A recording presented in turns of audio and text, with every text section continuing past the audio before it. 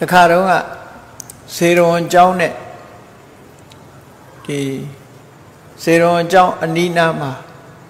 ကလေးတွေငယ်တွေမြို့ထဲကထွက်လာပြီးစေရွန်ကျောင်းပတ်ဝန်းကျင်မှာမလုပ်ကြလဲလို့ဆိုစေရွန်ကျောင်းပတ်ဝန်းကျင်လာပြီးတော့မွေးတကောင်ကိုဖမ်းကြတယ်ဒုံနဲ့ဝိုင်းပြီးတော့ရိုက်ကြနှက်ကြတရိษံတကောင်ကို ညှင်းဆဲနှိပ်စက်ကြ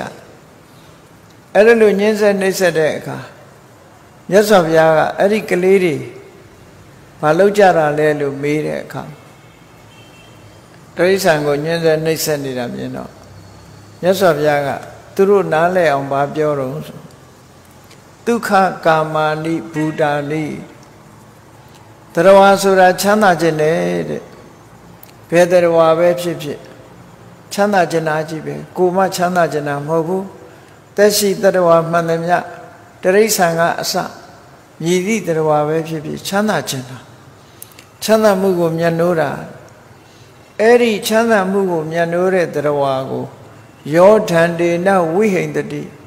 သူ့ကိုဒုက္နဲ့ရိုက်ပြီးဒုက္ခပေးမယ်ဆိုရင်ညှင်းဆဲမယ်နှိပ်စက်မယ်ချမ်းသာခြင်းတဲ့လူကိုသွားပြီးဒုက္ခရောက်အောင်လုပ်မယ် ချမ်းသာခြင်းတဲ့တရားကိုဒုက္ခရောက်အောင်သွားလုပ်မယ်ဆိုရင်တဲ့အတ္တနောဒုက္ခမေတာနောပစ္စသောနလဘတေဒုက္ခချမ်းသာခြင်းတဲ့တ attva ကိုညှင်းဆဲတဲ့ပုဂ္ဂိုလ်ဟာကိုကိုယ်တိုင်ကကိုချမ်းသာဖို့လုပ်တယ်လို့ဆိုပေမဲ့လို့နောက်ဘဝနောင်ကာလမှာဘယ်တော့မှချမ်းသာဒုက္ခမရနိုင်ဘူးတဲ့မြတ်စွာဘုရားဒီလိုဥပမာဆိုတော့ မွေးတကောင်တွေ့တယ်မွေးတကောင်တွေ့ရင်ဒီမွေးအရှင်ထားလို့မဖြစ်ဘူးဒီမွေးကလူတွေကြိုက်လိုက်မယ်တို့ကြိုက်လိုက်မယ်ဆိုပြီးတော့အဲ့ဒီမွေးကိုတတ်ပစ်တယ်ဆိုညင်းဆဲတယ်ရိုက်တတ်တယ်တတ်ပစ်တဲ့အခါကျတော့ကိုယ်စိတ်ထဲကတော့ရန်အေးသွားပြီးအန္တရာယ်ကင်းသွားတယ်လို့ဒီလိုယူဆကောင်းယူဆလဲကိုချမ်းသာဖို့အတွက်တစ်ဖက်သားအခြားတရားတကောင်ကိုတပ်ဖြတ်ပစ်လိုက်တာကိုယ့်အတွက် ဒီစိတ်ချရတဲ့အနေအထားတစ်ခုရောက်တယ်လို့လူတိုင်းလူတိုင်းကဒီလိုယုံကြည်တယ်အများကဒီအမားစရိုက်ကိုလက်ခံထားတယ်ပိုးသက်ဆေးတွေသုံးပြီးတော့ပိုးတတ်တာကဘာကြီးမှာပိုးမျိုးတုံးသွားလားဆိုဘယ်တုံးမှာ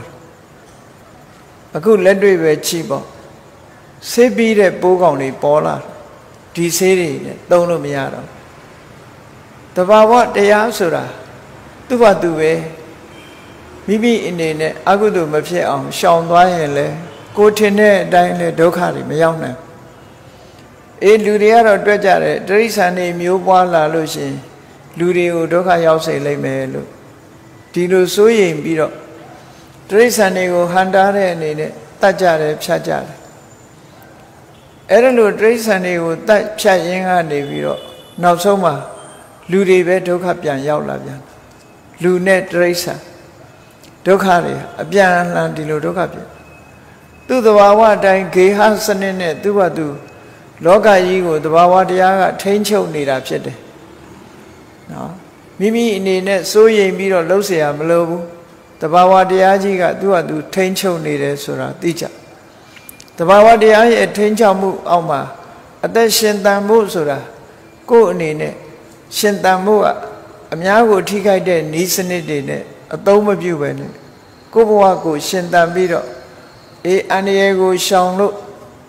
ကောင်းမြတ်တဲ့အနေအထားနဲ့ကိုယ့်ကိုဘဝရှင်တန်မှုနေလို့ရှိရင်မဖြစ်ဘူးလားဆိုဖြစ်တယ်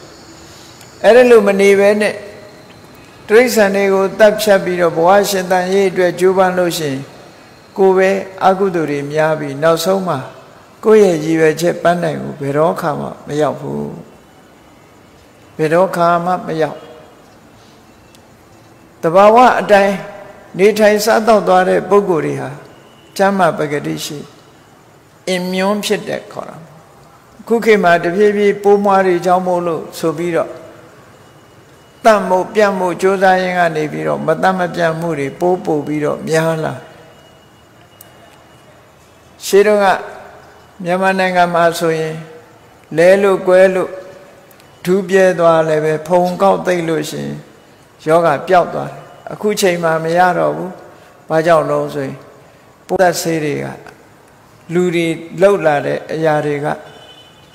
လောကကြီးတစ်ခုလုံးကိုစိတ်သင့်နေအစိတ်သင့်နေတာကိုကလှုပ်တာတော့တိရစ္ဆာန်တွေကိုယ်ကိုမငြင်းဆဲနိုင်အောင်ဒုက္ခမပေးအောင်တိရစ္ဆာန်တွေကိုကာကွယ်တဲ့အနေနဲ့သုံးလာသို့တော့အဲ့ဒီအစိတ်တွေကကိုယ်ပြန်ပြီးတော့ဒုက္ခပေးလာနောက်ပိုင်းကျဒါကြောင့်မို့ ကဘာကြီးတစ်ခုလုံးဟာအစိတ်သင့်နေရေလည်းအစိတ်သင့်တယ်လေလည်းအစိတ်သင့်တယ်မြေကြီးလည်းအစိတ်သင့်တယ်ဆိုတာပို့ပြီးတော့တန့်ပြန့်ပြီးလူတွေပို့သက်ရှင်လာသလားလို့ဆိုမဟုတ်ဘူးပို့ပြီးတော့အန္တရာယ်တွေပဲများများလာတယ်လို့ဒီလိုပြောမှာလုံရင်လုံရင်နဲ့အန္တရာယ်တွေဟာသူပြောလာရှေးကလို့မဟုတ်တော့ပဲအခုကြည့်နေစဉ်းစားကြည့်ပေါ့